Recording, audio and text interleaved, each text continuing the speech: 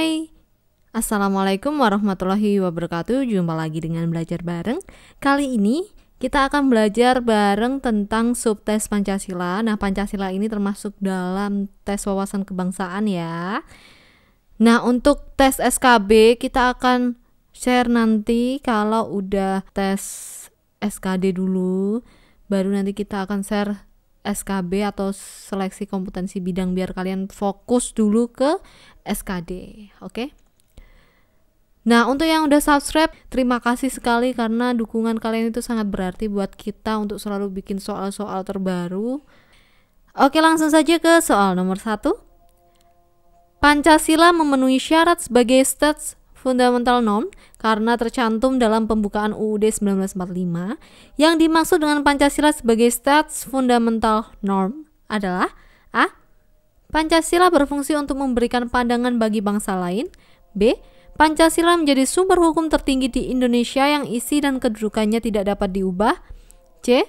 Pancasila sebagai peraturan untuk menganut hidup orang banyak D. Pancasila sebagai dasar hukum yang digunakan Indonesia untuk bergaul dengan negara lain. E. Norma yang berlaku di Indonesia disesuaikan dengan norma-norma yang berlaku di seluruh dunia. Ya, jawabannya adalah B, yaitu Pancasila menjadi sumber hukum tertinggi di Indonesia yang isi dan kedudukannya ini tidak dapat diubah. Nah, Sebelumnya, stats fundamental norm adalah kaidah negara fundamental. Dalam hal ini, Pancasila sebagai sumber segala hukum yang ada di Indonesia. Kedudukannya ini berada di tingkatan paling tinggi sehingga tidak dapat diubah. Teori stat fundamental norm dikembangkan oleh Hans Naulaski, seorang ahli hukum yang berasal dari Jerman. 2. Yang dimaksud dengan nasionalisme religius adalah A.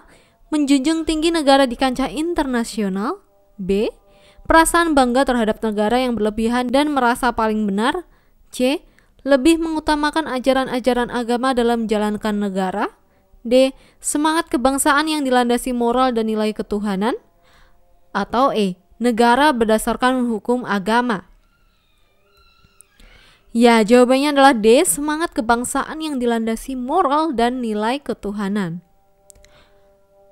Dalam bernegara, apabila kita meyakini adanya Tuhan, maka segala yang kita lakukan dapat terkendali.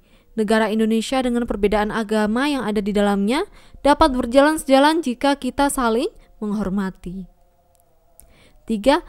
Masyarakat Indonesia mempunyai cita-cita bersama yang harus diwujudkan untuk kesejahteraan seluruh rakyat. Berbagai cara dilakukan agar cita-cita tersebut dapat terwujud. Hal ini karena Pancasila berperan sebagai A falsafah bangsa, B. dasar negara, C. ideologi negara, D. cita-cita bangsa, atau E. instrumen bangsa. Ya, jawabannya adalah C yaitu ideologi negara. Ideologi merupakan cara berpikir seseorang ataupun suatu golongan yang di dalamnya terdapat arah dan tujuan hidup yang akan dicapai. 4. Kedudukan Pancasila sebagai dasar negara Indonesia tercantum di dalam A. Pembukaan UUD 1945 alinea kedua B. Pembukaan UUD 1945 alinea ketiga C. Pembukaan UUD 1945 alinea keempat D. Batang tubuh UUD 1945 atau E. TAP MPR Ya, jawabannya adalah C, pembukaan UUD 1945 alinea keempat. Walaupun tidak secara eksplisit disebutkan kata Pancasila, namun pada pembukaan UUD 1945 alinea keempat yang berbunyi, maka disusunlah kemerdekaan kebangsaan Indonesia itu dalam suatu undang-undang dasar negara Indonesia yang terbentuk dalam bentuk susunan negara Republik Indonesia yang berkendalikan rakyat dengan berdasarkan ketuhanan yang Maha Esa, kemanusiaan yang adil dan beradab, persatuan Indonesia, dan kerayaatannya dipimpin oleh hikmat kebijaksanaan dalam permusyawaratan perwakilan, serta dengan mewujudkan suatu keadilan sosial, bagi seluruh rakyat Indonesia.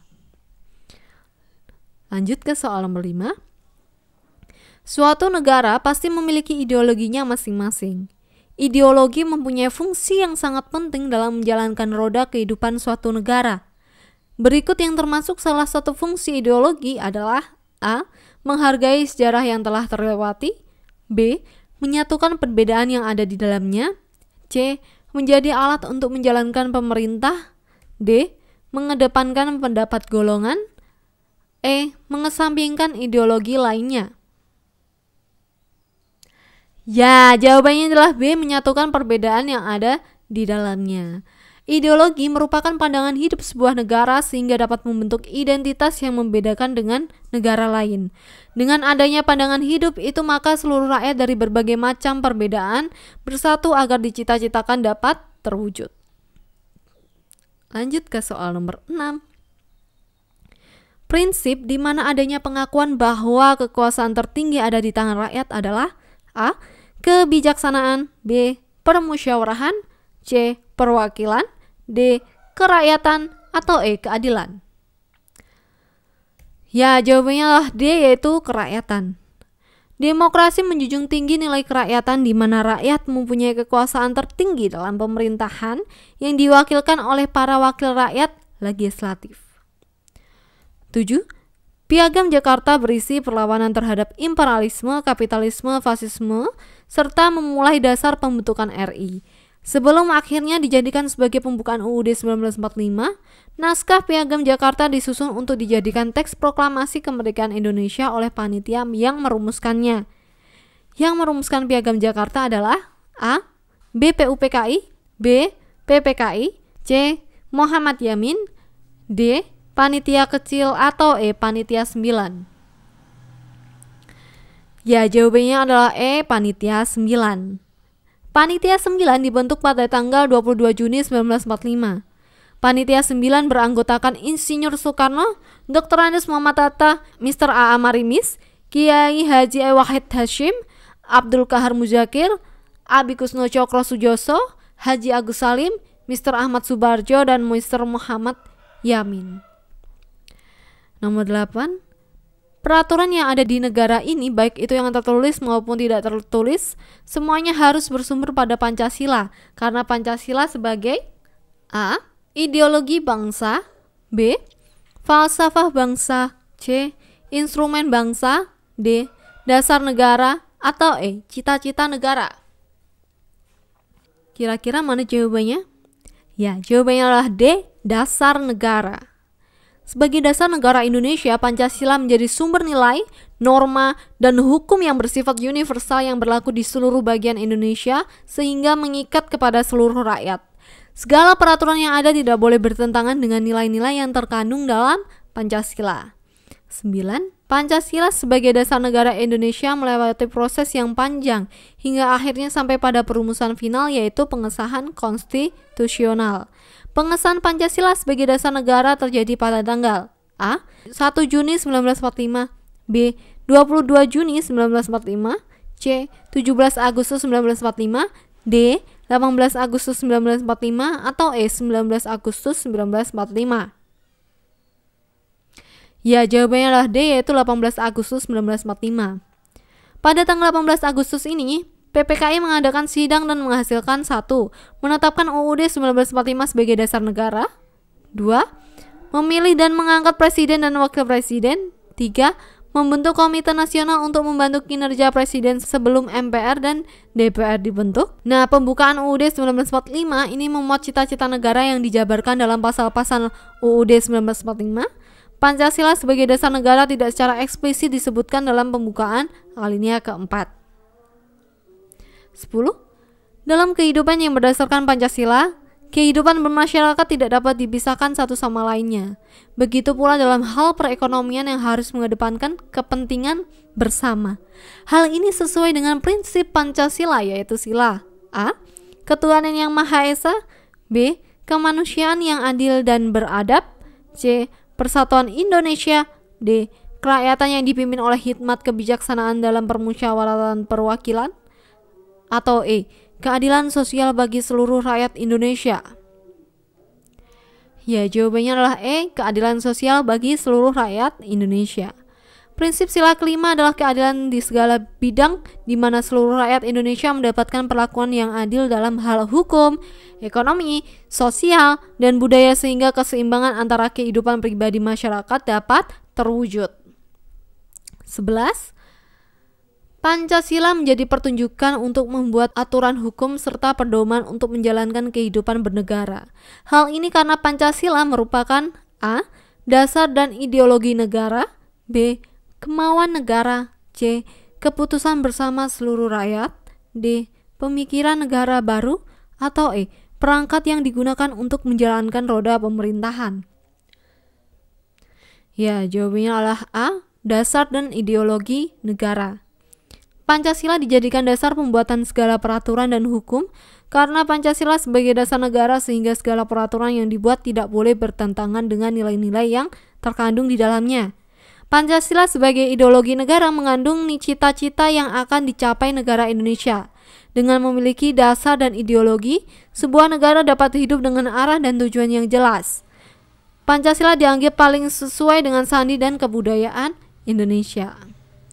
12 Saling menghormati dan tidak membeda-bedakan manusia berdasarkan suku atau golongan merupakan salah satu contoh yang terkandung dalam sila A. 1, B. 2, C. 3, D. 4, atau E. 5. Ya, jawabannya adalah B yaitu 2. Pada sila kedua ini nilai kemanusiaan harus dijunjung tinggi karena manusia mempunyai kedudukan yang sama, sehingga harus diperlakukan secara adil dan beradab tanpa ada perbedaan sedikit pun karena semua orang mempunyai hak asasi yang sama untuk dihormati orang lain. 13. Sikap menjunjung tinggi keadilan, menjaga kelestarian lingkungan sekitar, serta menghormati pemeluk agama lain merupakan salah satu contoh pengamalan nilai Pancasila dalam kehidupan sehari-hari. Nilai Pancasila yang dimaksud adalah A. Nilai kerohanian B. Nilai filosofis C. Nilai filsafat D. Nilai abstrak atau E. Nilai umum Ya, jawabannya adalah A yaitu nilai kerohanian. Pancasila mengandung nilai-nilai kerohanian seperti keadilan, kebijaksanaan, keindahan, etika, kebaikan, dan agama yang perwujudannya sesuai dengan hati nurani bangsa karena bersumber dari kepribadian bangsa Indonesia.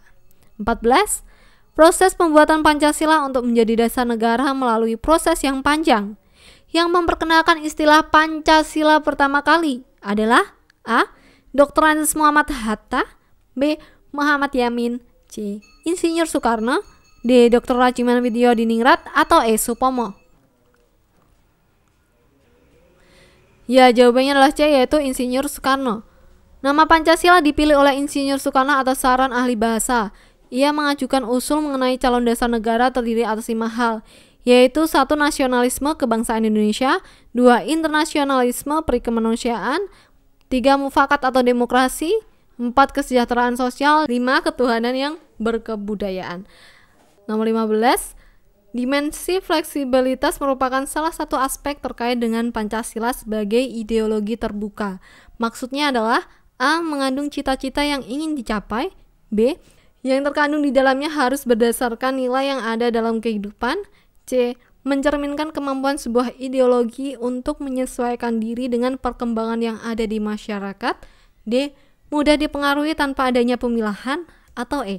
Pancasila dapat diubah kapan pun oleh rakyatnya. Ya, jawabannya adalah C, yaitu mencerminkan kemampuan sebuah ideologi untuk menyesuaikan diri dengan perkembangan yang ada di masyarakat.